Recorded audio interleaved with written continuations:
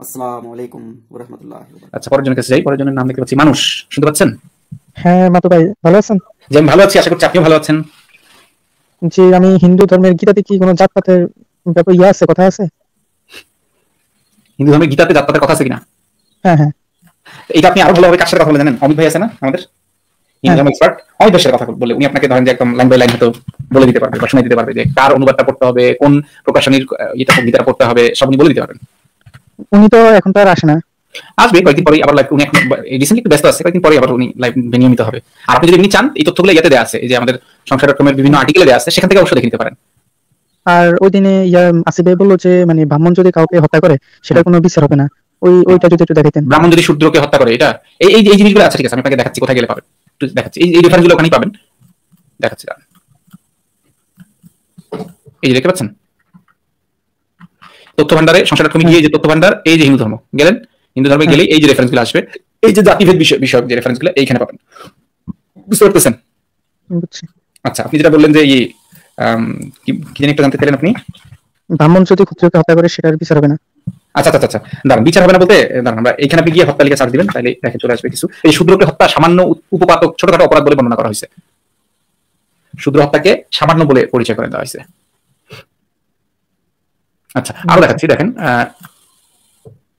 ব্রাহ্মণ ক্ষত্রিয় বৈশ্য শূদ্র যদি হত্যা করার জন্য ব্রাহ্মণের উপর দণ্ডাঘাত করেন অথবা কেবলমাত্র দণ্ড উত্তোলন করেন, তাহলেও আমি রামিশ্র নরকে একশো বছর ধরে পরিভ্রমণ করতে হয়। মানে ব্রাহ্মণ ক্ষত্রিয় বৈশ্য শূদ্র যদি হত্যা করার জন্য ব্রাহ্মণের উপর দণ্ডাঘাত করেন আচ্ছা এটা হচ্ছে ব্রাহ্মণকে মারার জন্য আর কি। ব্রাহ্মণকে যদি কেউ মারতে চায়, তখন কি তার কি হবে? কেবল কেবল যদি দণ্ডাঘাত করেন, তার ই করল। আচ্ছা ব্রাহ্মণ হত্যাকারীকে এগুলো আর কি? ব্রাহ্মণকে যারা হত্যা করে, তাদের ব্যাপারে এগুলো বলা আছে তো এরকম আপনি এই, এইখানে যদি খোঁজেন, তাহলে এই রেফারেন্সগুলো পাবেন। বুঝছি। শূদ্র হত্যাকে উপঘাত দেখেন স্ত্রী হত্যা বৈশ্য হত্যা শূদ্র হত্যা এবং নারী হত্যা এই সকলের প্রত্যেককে উপঘাতক বলে উপ- উপপাতক বলে। তো এইগুলো তো আমি এই যেমন এখানে এগারো বাই উনষাট সাতষট্টি লেখা আছে আমি তো এইটাও বুঝব না যে এটা কি শ্লোক বুঝাইছে নাকি চ্যাপ্টার বুঝাইছে না কি বুঝাইছে। মানে আমার তো আসলে এগুলো সম্পর্কে আমার আইডিয়া নাই এই জন্য আপনি যেটা ভালোভাবে মানে ভালোভাবে যেটা করলে অমিতের সাথে আপনি যদি যুক্ত হন তখন আপনাকে এই জিনিসগুলো বুঝিয়ে দিবে। বুঝতে পারতেছেন? আচ্ছা কিন্তু হিন্দু ধর্মে এটা এটা আমি অন্তত বলে দিতে পারি যে কিছু কিছু আলোচনা আমি শুনছি অমিত ভাইদের যখন আলোচনাগুলো করে রেগুলার তখন তো কিছু কিছু শুনছি যে ভাই ব্রাহ্মণের জন্য যেসব সুবিধা দেওয়া আছে মানে পড়লে মনে হবে যে ভাই এরা হইতেছে ফার্স্ট ক্লাস সিটিজেন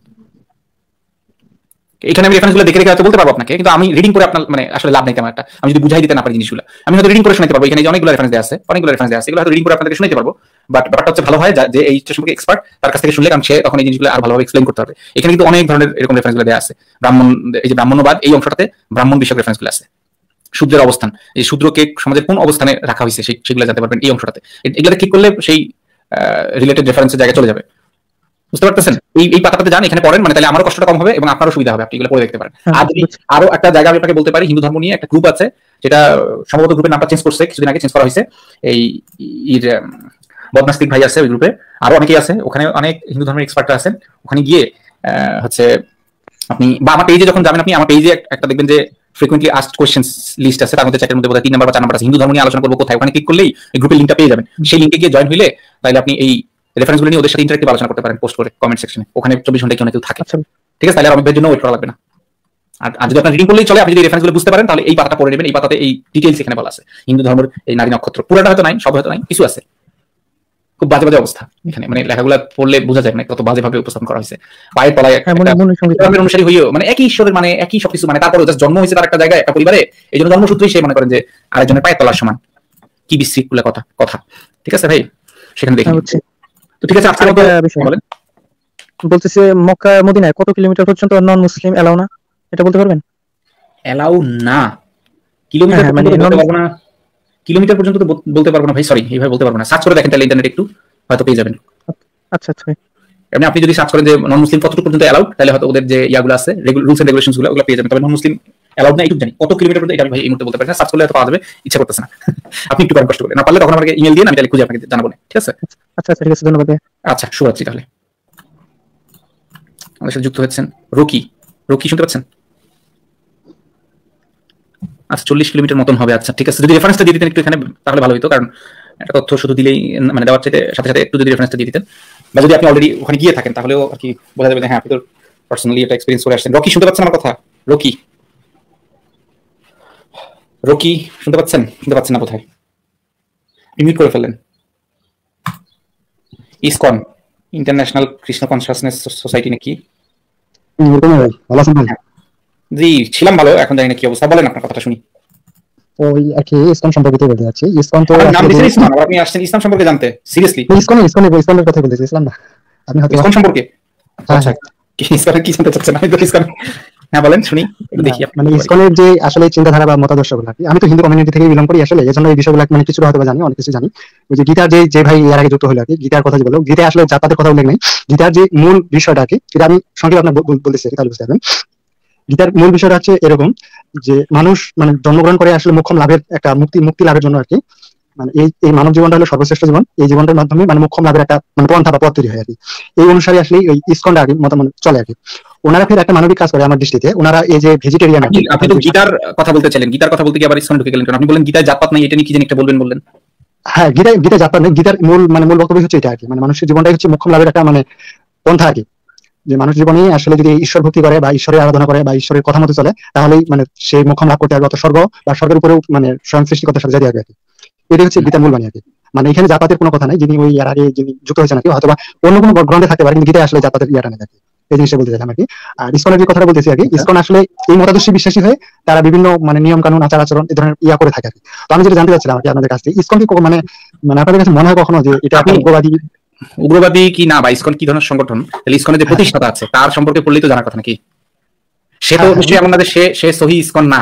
এরকম তো হওয়া পসিবল তাই না? সে প্রকৃত ইসকনবাদী না এটা তো হওয়া পসিবল না তাই না? কারণ সে ইসকনের প্রতিষ্ঠাতা তাই না? জি ইনি ইনি যে শিল্প ইনি হচ্ছে ইসকনের প্রতিষ্ঠাতা এখন ইয়া। আচ্ছা। তো এই যে এনার সম্পর্কে এই যে আমাদের দত্ত ফিনাস দত্ত ফিনাস মেলানোস্টিস্টাক্স মানে হচ্ছে ইয়া ব্যাং ভাই তন্ময় রয় ওনার একটা লেখা আছে বেশ কয়েক বছর আগের তখনকার। হ্যাঁ। এই প্রভুপাদের হ্যাঁ। আচ্ছা আমি ওকে জাস্ট শ্রীল বলেই ডাকি এই শব্দটা আচ্ছা। একটু বন্ধযুক্ত শব্দ। এনিওয়ে তো এই শ্রীল শ্রীল সাহেব সে কি কি বলছে বা সে কি রকম টাইপের লোক সেটা কি একটু পড়বেন কষ্ট করে এই লেখাটা? আমি আপনাকে যদি আপত্তিগুলো যদি একটু বলতেন মানে ওনার সম্পর্কে মানে আমার তো আপত্তি অবশ্যই। না আমি শুনতে চাচ্ছি আপনারও আপত্তি আছে কিনা? বর্ণভেদ কথা গীতায় বলা আছে এখানে কমেন্ট সেকশনে তো সবাই বলতেছে ভাই। আপনি কি আমার বোকা বানাইলেন? ভাই, এই তো অমিত ভাই চলে আসছে। আরে বাপরে বাপ অমিত ভাই চলে আসছে।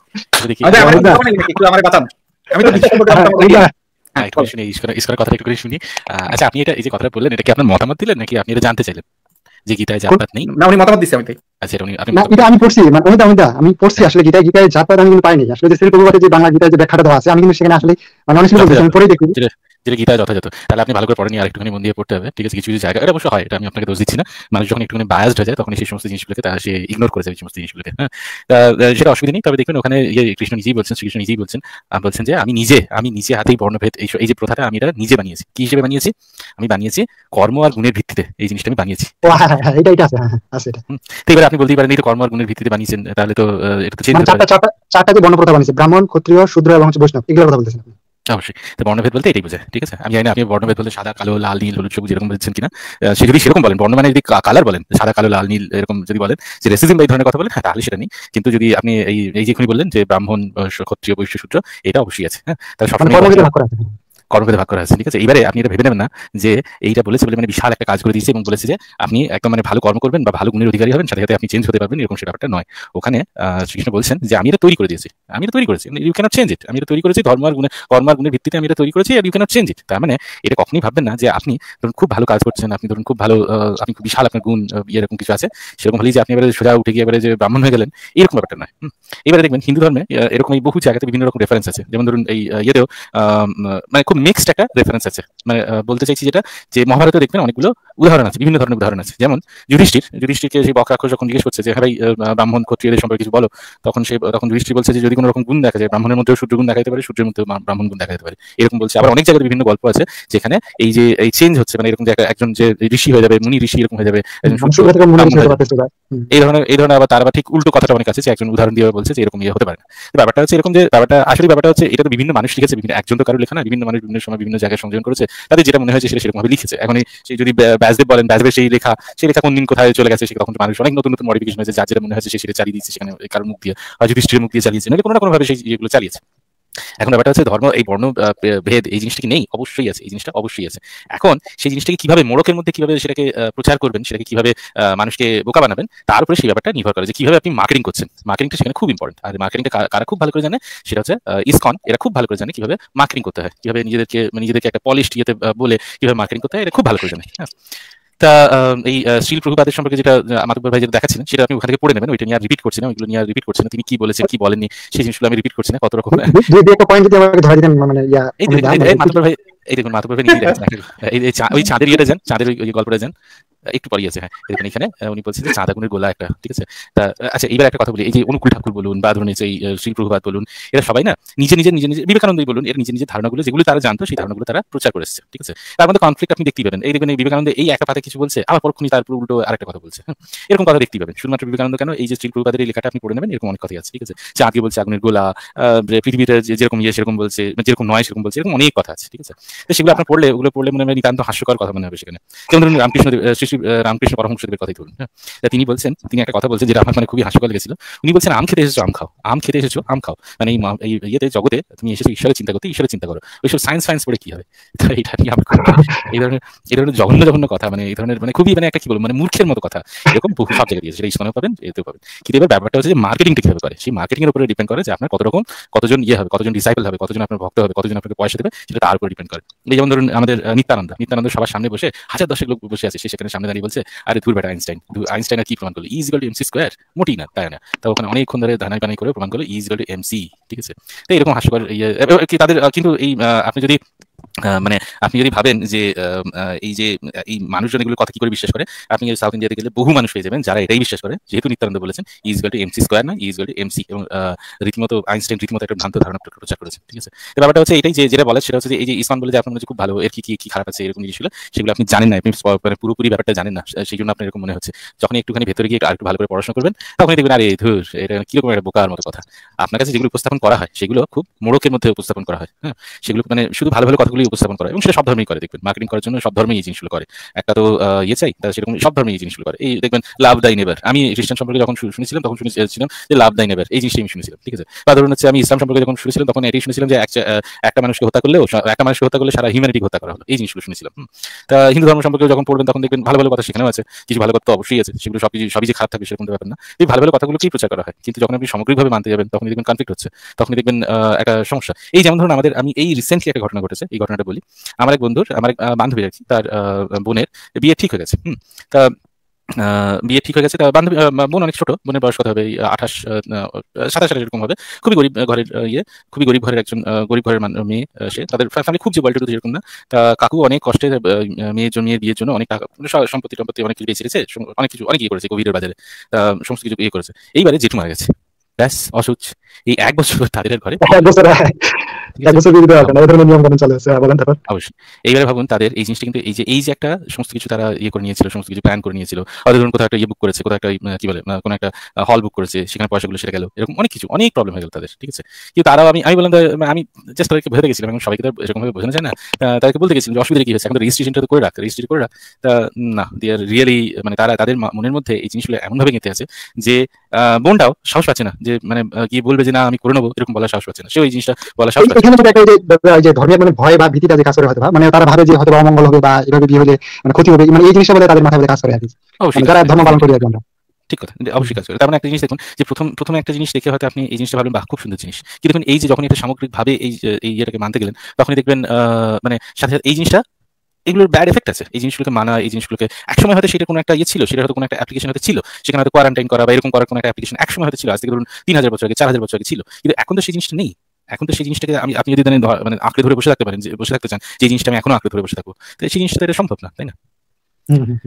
জি অমিত ভালো লাগল আপনার কথাগুলো। মানে আরেকটা কথা ছিল যে মানে আমরা যে ওই যে জন্মান্তরবাদী যে বিশ্বাসী মানে এক জন্ম থেকে আরেক জন্মে আর কি রূপান্তরিত হয় আর কি। মানে এটার সম্পর্কে মানে কতটা যুক্তিযুক্ত আসলে এই জিনিসগুলো? এটা মোটেই যুক্তিযুক্ত না এটা মোটেই যুক্তিযুক্ত না একেবারেই যুক্তিযুক্ত না। আপনি যদি নিজে ভাবে- ভাবেন আপনি ভাবার চেষ্টা করুন যে কোন জিনিসটা জন্ম হয় কোন জিনিসটা পুনর্জন্ম হয়। হাত পা না কান চোখ সব তো মাটিতে মিশে গেল সব তো চলে গেল ঠিক আছে? তাহলে কোন জিনিসটা কি হবে? কোন জিনিসটা নেই। যেটা বলে ওই যে আটা আটা নাকি অমর? আটা মানে আমাদের আমরা যেটা বিশ্বাস বা ছোটবেলা থেকে যেটা জানি আসি আতা নাকি অমর। মানে মানে মূল্য আত্মা আত্মাটা থাকে কোথায়? আত্মা আমি তো আজ পর্যন্ত কোনোদিন দেখিনি। হচ্ছে আত্মা বলে কিছু আছে বলে হ্যাঁ? আর আত্মাটাকে তাহলে যদি এরকম হতো যে আত্মাটা, তাহলে দেখুন ব্যাপারটা হচ্ছে যে ওই ভেন্টিলেটর ভেন্টিলেটর আবিষ্কার করার জন্য মানুষ তো ছোটাছুটি করতো না। তাহলে কি করতো মানুষ? এই আত্মাটাকে আবিষ্কার করার জন্য আত্মা এরকম আত্মার সাথে আত্মার ফেবিকুইক এর ধরনের কিছু একটা যদি আবিষ্কার করা যেত, সেটাই ভালো হতো, তাই না? ধরুন হচ্ছে আত্মাটাকে ফেবিকুইক দিয়ে আটকে দিলেন, তাহলে মানুষ বলল না তখন এই ভেন্টিলেটর ব্যবহার করে এই ধরো অক্সিজেন কোথায় কোভিডের বাজারে অক্সিজেন নেই অক্সিজেন নেই করছে, এই সমস্ত করে there is no requirement for that কোনো দরকার ছিল না, তাই না। আমাদের ধর্মটা তো এটার উপরেই মানে দাঁড়িয়ে আছে মূলত। যে লাভ জন্মের পর জন্মান্ত বা আত্মা মানে আমার এগুলো দিয়ে আসলে মানে আমাদেরকে ভয় দেখানো হয় মানে পরিবার থেকে যে মানে একটা খারাপ কাজ করতে গেলে যে ঈশ্বর মানে অসন্তুষ্ট হবে, পরবর্তীতে মানুষ না হয় কুকুর হয়ে জন্মাবো মানে কর্মফলের জন্য মানে কীভাবে শাস্তি হবে এই জিনিসগুলো মানে আমাদের মাথাগুলো বেশি করে কাজ করে।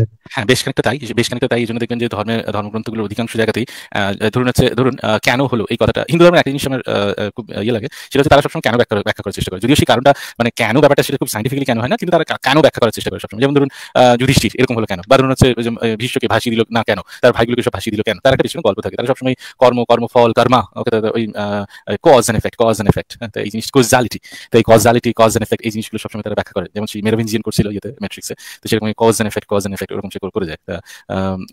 মানে তারা সেরকম ভাবে ব্যাখ্যাটা করে যায়। কিন্তু সবসময় কি সেই জিনিসটা সত্যি? হ্যাঁ কজ এন্ড এফেক্ট আছে, ঠিক আছে, আমি সেটা মানছি। আপনি যদি এখন একটা এই ইয়েতেই ধরুন আপনি কোভিডের বাজারে মাস্ক না পরিয়ে আপনি বেরোলেন, ঠিক আছে? অবশ্যই, এটা একটা কজ এবং ইনফেক্টেড হবেন, সে বিষয়ে কোনো সন্দেহ নেই, সেটা একটা এফেক্ট ঠিক আছে? কিন্তু তার মানে কি এটা যে মানে পুরো পরজন্ম, পূর্বজন্ম এই জিনিসগুলো আছে, এরকম নেই। এরকম কোনো জিনিসগুলো, এরকম কোনো সাইন্টিফিক কোনো রকম প্রুফ নেই। এগুলো বলে যদি মানুষকে বোকা বোকা দ- ধোকা দেয়, তো সেটা মানে মোটেই মানে সেটা খুবই একটা মানে গঠিত অপরাধ হলো সেটা। জি দাদা ভালো লাগল কথা বলে। মানে আসলে এগুলো বিষয় জানতে গেলে বুঝতে গেলে মানে অনেক পড়াশোনার দরকার আছে তো। মানে অল্প জ্ঞানে বা অল্প পড়াশোনা করে আসলে মানে উপসংহারে আসলে পৌঁছানো আর কি সম্ভব হয় না যাক ভালো লাগল। মাঝে মাঝে যুক্ত হব। মাতু ভাই তো অনেক ভালো কথা বলে আলোচনা করে। আর আরেকজন মনে কথা বলে এই সুযোগ নিয়ে আপনি এসে আমারে গোল খাওয়াই দিলেন। আমার এসে আপনি সুন্দর মতো একটা কথা কয়ে দিলেন। ইটাতে নাই। না না না না, ওটা আমি ওটাই বুঝে পেরেছি যে আসলে মানে উনি যার কথা বলতে যেটা বুঝাতে চাইছিল আর কি আমার আগে যিনি এসেছিলেন উনি হয়তো বা মানে এই যে মানে অনেক কিছু বুঝাচ্ছিল আগে মানে ওই জিনিস আমার কাছে নেই আমি ওটাই বলতে চাইছিলাম যে ওইভাবে জাত প্রথাগুলো জানে। কিন্তু কর্মভিত্তিতে চার প্রকারের জাত কথা আছে এটা কিন্তু ছিল এটা। কর্মভিত্তিক মানে কি? মানে মানে কর্ম করে তো আর আপনি তো ধরেন সারা জীবন ভালো কর্ম করে তো আপনি ব্রাহ্মণ হতে পারবেন না মানে এটা হলো যে আপনি যদি সুদের ঘরে জন্মান ধরেন একটা নিচু পরিবারে জন্মগ্রহণ করলেন কিন্তু আপনার মনে করেন যে আপনার কাছে প্রতিভা আছে যে আপনি মন্ত্র বা সংস্কৃত ভাষা এগুলো জানেন আর কি তাহলে মানে আপনি ব্রাহ্মণ হতে পারবেন না। না না ভাই? এটা এটা কে বলছে? আমি আমি আমি মানে হিন্দু ধর্ম সম্পর্কে আমার বিন্দু পরিমাণ আইডিয়া নাই এটা সত্য কথা কিন্তু তাই বলে এতটাও একেবারে বলত না যে এইটুকু জানি না। ভাই আপনি জন্ম সূত্রের ঘরে জন্ম নিলে কোনোদিন ব্রাহ্মণ হতে পারবেন নাকি? কি বলেন এটা? এটা সম্ভব? সম্ভব না, সম্ভব না। কোনো জিনিস সম্ভব না। এটা এটা সেটাই বললাম না যে ওখানে উনি বলছেন যে এটা আমি তৈরি করে দিয়েছি। It is already been created it is already been done এটা হয়ে গেছে। এটা ইউ ক্যানট চেঞ্জ ইট তুমি এটাকে চেঞ্জ করতে পারবে না। তোমার জন্মের আপনার আপনার মহাভারতে আমি তো মহাভারতে কর্ণ কর্ণ উনি জন্ম নিয়ে মানে ব্রাহ্মণ উনি তো জন্ম নেয়নি। ও তো কুন্তির পুত্র তাই না? তো কুন্তি- কুন্তির পুত্র সে হচ্ছে ক্ষত্রিয় সে নিজেই ক্ষত্রিয়। সত্যি সে ক্ষত্রিয় সে সূর্যের সন্তান সে নিজেই ক্ষত্রিয় তাই না? সে ইয়েতে কোথায় জন্ম নিয়েছিল সে জন্ম নিয়েছিল সে ইয়ের কি বলে ইয়ের ঔরসে কি বলে গর্ভের কুন্তির গর্ভে এবং সূর্যের ঔরাসে যে জন্ম নিয়েছিল। এবং তাকে মানুষ করেছিল একজন একজন না, সুতপুত্র একজন মানে সুতপুত্র ছিল সে। সুত সুতো মানে হচ্ছে তারা ওই রথটা তৈরি করতো তার ওখানে জন্ম নিয়েছিল। তার মায়ের নাম ছিল পালিত মাতা, যে যিনি পালন করেছিলেন তার নাম ছিল রাধা, তাই জন্য তাকে রাধেও বলা হতো। দেখবেন এই জন্য সে যে সুতপুত্র, এই জন্য তাকে বহু বহু জায়গায় তাকে ইনসাল্টেড হতে হয়েছে। হ্যাঁ বহুভাবে ইনসাল্টেড হয়েছে। একলব্যের কথাই ধরুন, সে এত বড় বীর, এত ইয়ে সে মানে রীতিমতো হি ওয়াজ ভেরি ট্যালেন্টেড তাকেও কীভাবে হিমিলেটেড হতে হয়েছে? তাকে সেই ট্যালেন্ট দেখে তো এরকম বলেনি, বাবা, তোমার কত ট্যালেন্ট আমি তোকে নিলাম আমার ক্লাসে এরকম তো বলেনি। এরকম তো তাকে বলেছে, দেখ ভাই, আমি এই, আমি আমি এই ইয়েদেরকে ছাড়া আমি কাউকে শিক্ষা দিই না। হুম। তো এটা তো খুবই একটা মানে আপনি ভাবছেন এরকম সেরকম তো নয় আসলে তাই না? অমিত ভাই অর্জুন নামের ক্যারেক্টারটা কি এটা কি এই যে কৃষ্ণ সাথে যে ক্যারেক্টার এটা কি গীতার ক্যারেক্টার হ্যাঁ অর্জুন অর্জুন হচ্ছে হ্যাঁ, গীতার গীতা। অর্জুনকে আচ্ছা। বলছে অর্জুনকে জ্ঞান পঞ্চপাণ্ডবের ছোট ছোট হচ্ছে অর্জুন। না পঞ্চপাণ্ডবের মধ্যে হ্যাঁ হ্যাঁ হ্যাঁ সরি দ্বিতীয় পাণ্ডব। হ্যাঁ হুম। ভাই বলুন। আচ্ছা এই অর্জুন যে যুদ্ধ করছিল এটা কি তার জন্মসূত্রে তার জাতের ভিত্তিতে নাকি কর্ম? হ্যাঁ সেটা তার সে ক্ষত্রিয় ছিল তো সেটা জন্মসূত্রেই সে ক্ষত্রিয় ছিল। সেই জিনিস সে যুদ্ধ করেছিল। এবং মানে সেই জন্যই তাকে যোদ্ধা বানানো হয়েছে নাকি, তাই না নাকি? অবশ্যই ডেফিনেটলি সেরকম ভাবে তৈরি করা হয়। এখন ব্যাপারটা কি, ব্যাপারটা হচ্ছে যে হিন্দু ধর্মে এটা বিলিভ করা হয় যে এভরি সিঙ্গেল থিং সমস্ত কিছু সেটা প্রি ডিটারমাইন্ড আগে থেকে সেটা একরকম ঠিক করা আছে। তা সমস্ত কিছু বিধি, বিধান বা এই ধরনের জিনিসগুলো অনেক কথা আছে দেখবেন হ্যাঁ? এগুলো প্রি ডিটারমাইন্ড অধিকাংশ জিনিসই প্রি ডিটারমাইন্ড মানে ধরুন আগের জন্মে কি কাজ করেছে, সেই অনুযায়ী তার এই জন্মের সমস্ত কিছু লেখা আছে, সমস্ত কি কাজ করছে, কেন হচ্ছে তার সাথে এই ঘটনাগুলো, সেগুলো হচ্ছে এখন হচ্ছে, সেটা আগের জন্মে কি হচ্ছে এবারে আপনি তো আর আগের জন্মে কি হয়েছে, সেই জিনিসটাকে পরিবর্তন করতে পারছেন আপনি যখন জন্মাচ্ছেন, তখনই already every single thing is predetermined সেই জিনিসগুলো সবকিছু হয়ে গেছে মানে আগে থেকে ইয়ে হয়ে গেছে। এবারে আপনি মানে সেটাই বলছে, সেখানে বলছে যে এই জিনিসগুলো আমি তৈরি করেছি ভাগগুলো আমি যে বানিয়েছি, এইটাকে আর চেঞ্জ করতে পারবে না। তুমি পারবে না যে এটাকে মার্চ করে দিলে বলে না, আজ থেকে আর কেউ ইয়ে নেই চারটে বর্ণ বলে কিছু নেই, এরকম কিছু করতে পারবে এই ভাগগুলো বানিয়েছি, এই ভাগগুলো অবশ্যই থাকবে, এগুলো আছে, তো এগুলো চেঞ্জ করা যায় না। এগুলো বানিয়ে দিচ্ছে বানিয়ে দিচ্ছে এবারে কেউ ভাবলেন, ওখানে এরকম কোথাও দেখবেন না, এবং সেই জন্য দেখবেন এখানে এখানে যদি ধরুন একজন এই- যে দেখবেন ইয়েতে গীতাতে বা ইয়ের মধ্যে, ওখানে বর্ণ সংকর, এই বর্ণ সংকর জিনিসটাকে ওরা খুব হেড করে। মানে ধরুন বর্ণ সংকর কীরকম মানে ধরুন হচ্ছে, বিশেষ করে যদি বর্ণ সংকরের মধ্যে মেয়েটা যদি ওপর ক্যাটাগরির এবং ছেলেটা যদি নিচু ক্যাটাগরির হয়, সেই জিনিসটাকে ভীষণভাবে হেড করে। মানে ধরুন ছেলের, ওখানে ওখানে বারবার ওখানে এই বিশ্বকে জিজ্ঞেস করতে গেছে বিশ্ব যখন মারা যাচ্ছে, তখন অনেক কথাই বলছে, অনেক কি বলছে। তো ওখানে বলছে যে, মেয়ে যদি ব্রাহ্মণ হয় আর ছেলে যদি শূদ্র হয়, তাদের সন্তান কি হবে? চন্ডাল হবে। চন্ডাল মানে কি? মানে চন্ডাল মানে হচ্ছে ওয়ান অফ দ্য মানে একদম নিকৃষ্টতম একটা ক্যাটাগরির একটা মানুষ। সে মরা পড়ায় নোংরা জায়গায় থাকে সেরকম মানে তার ইয়ে খুবই খারাপ। তাই সেরকম একটা বর্ণ সংকর হবে। সেখানে কৃষ্ণ বলছে যে, আমি যদি, আমি আমি যদি এখানে কাজ না করি, তাহলে লোকে আমাকে এই বর্ণ সংকর তৈরির জন্য ইয়ে করবে। মানে আমাকে এর জন্য দোষ দেবে। এখানে এই বর্ণ সংকর জিনিসটা তারা সবসময় ভীষণ ইয়ে করতো, ভীষণ হেড করতো। তার মানে ব্যাপারটা দেখুন, ব্যাপারটা হচ্ছে তারা যে একটা অ্যামালগামেশনের কথা বলছে, তারা যে সবসময় যে বলছে যে, একটা ইয়ে করছ একটা যে একটা যে, কাউকে একটা তুলে টেনে তুলে ধরবেন, এরকম একটা ব্যাপার। যে কাউকে একটা মনে হলো যে আচ্ছা ঠিক আছে এদের সাথে বিয়ে দিয়ে ইয়ে করে রিলেশনে যেতে পারে এরকম কিছু। সেই জিনিসটা কিন্তু ওখানে মোটেই তারা অ্যালাউ করে না। এই জিনিসগুলো তারা সবসময় খুব হেট করে এসেছে। এবং এই ডিসক্রিমিনেশনটা এটা সবসময় ছিল এবং এখনও আছে। ইন্ডিয়াতে এখনও পর্যন্ত একবিংশ শতাব্দীতে এসেও এই জিনিসটা আপনি ভুরি ভুরি দেখতে পাবেন। আপনি ওয়েস্ট বেঙ্গলে হয়তো এটা খুব একটা দেখা যায় না কারণ শহরতলিতে এই জিনিসটা খুব একটা দেখা যায় না। কিন্তু একটুখানি ওয়েস্ট বেঙ্গলে একটু প্রত্যন্ত দিকে যাবেন বা হচ্ছে আপনি বিহারের দিকে আসবেন উত্তরপ্রদেশের দিকে আসবেন রাজস্থানের দিকে আসবেন সাউথ ইন্ডিয়ার দিকে যাবেন সেখানে এই জিনিসগুলো খুব প্রকটভাবে দেখা যায় বর্ণ ইয়েগুলো। ঠিক আছে তাহলে আজকের মতো এনার কাছে বিদায় নিতে এলে আহ, ভাইয়ের কাছে। আচ্ছা ঠিক আছে তাহলে মাধু ভাই। ধন্যবাদ আমাদের আপনাকে শুভরাত্রি। আচ্ছা হিন্দু ধর্মের কথা উঠতেই হিন্দু ধর্মের বিশেষ অজ্ঞ হাজির নাকি? Hello I don't think so ও আচ্ছা আইডি আচ্ছা মজা করতে আসছে। হুম। দেখি কি বলে। না না মজা করতে আসছে আইডি পড়ানো ছাড়বে